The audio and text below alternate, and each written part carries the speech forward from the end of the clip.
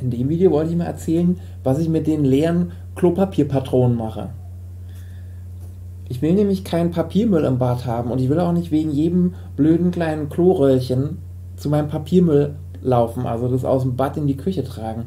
Deswegen habe ich mir folgendes angewöhnt. Ich habe nämlich, hier 24 Stück von den Dingern aufbewahrt. Da war ich lange für auf dem Klo.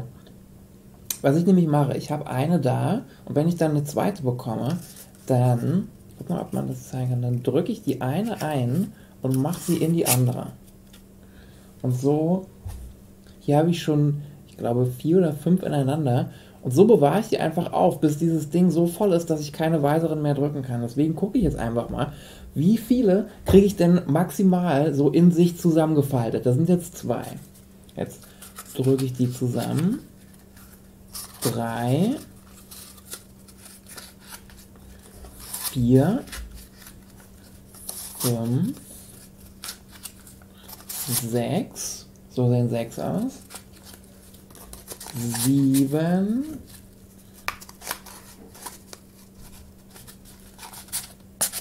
Acht. Jetzt wird's eng. Neun. Zehn. Ich glaube, viel mehr kriege ich nicht rein. So, so sieht ein zehnfach in sich selbst gefaltetes Kloröllchen aus. Kriege ich vielleicht noch eine Elfte?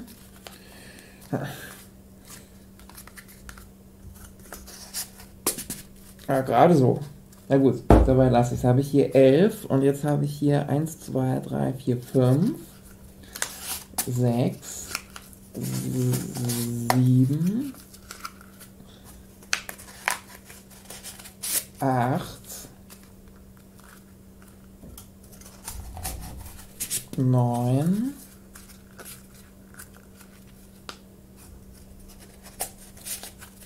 zehn. Versuchen wir bei dem auch noch einen elften. Äh, elf. Hier zwei so eine Biester.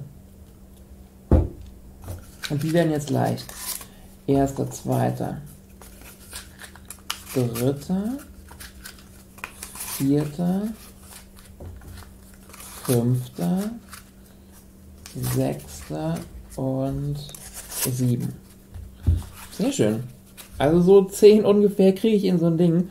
Und dann habe ich mir jetzt quasi, wenn ich das bei mir im Bad mache, habe ich mir dann, wenn ich 10 reinmache, habe ich mir 9 Gänge gespart. Wobei jeder Gang macht schlank, jedes Bewegen ist eigentlich gesund. Eigentlich habe ich hier gerade einen schönen Mechanismus gefunden, mich um wertvolle Bewegung zu bringen. Aber egal.